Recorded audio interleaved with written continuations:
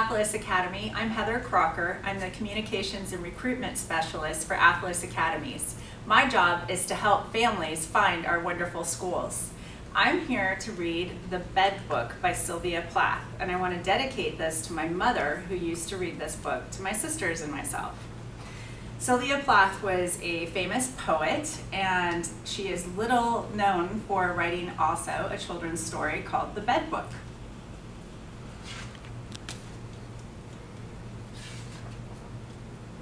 The Bed Book by Sylvia Plath. Beds come in all sizes, single or double, cot size or cradle, king size or trundle. Most beds are beds for sleeping or resting, but the best beds are much more interesting. Not just a white little, tucked in tight little, nighty night little, turn out the light little bed. Instead, a bed for fishing, a bed for cats. A bed for a troop of acrobats. The right sort of bed, if you see what I mean, is a bed that might be a submarine, nosing through water, clear and green, silver and glittery as a sardine. Or a jet-propelled bed for visiting Mars with mosquito nets for the shooting stars. If you get hungry in the middle of the night, a snack bed is good for the appetite. With a pillow of bread to nibble at and up at the head, an automat where you need no shillings, just a finger to stick in the slot and out come cakes and cold chicken. Bed that fills the bill is the sort of bed that is spottable. In a spottable bed, it never matters where jam rambles and where paint splatters, or if the cat and the parakeet dance on the covers with muddyish feet. On the other hand, if you want to move, a tank bed's the bed most movers approve. A tank bed's got cranks and wheels and cogs and levers to pull if you're stuck in bogs. A tank bed's treads go upstairs or down through duck ponds or through a cobbledy town.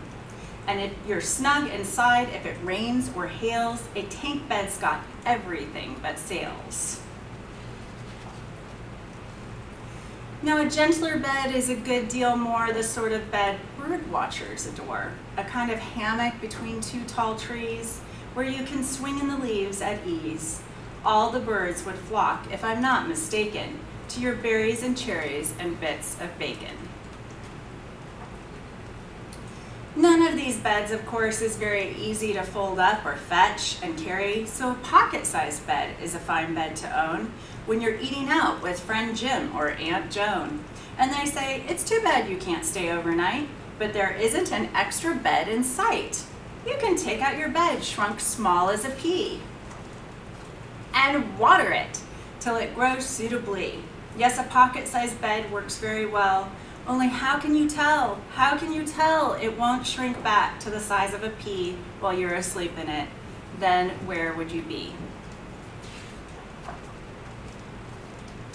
Oh, here is a bed shrink proofer than that, a floatier, boatier bed than that. In an elephant bed, you go where you please. You pick bananas right out of the trees. An elephant bed is where kings ride. It's cool as a pool in the shade inside. You can climb up the trunk and slide down behind. Everyone knows elephants don't mind. And when it's lots of degrees below, a North Pole bed is the best I know. A North Pole bed is made of fur. It's fine if you're an explorer, or if you just have a very cold nose.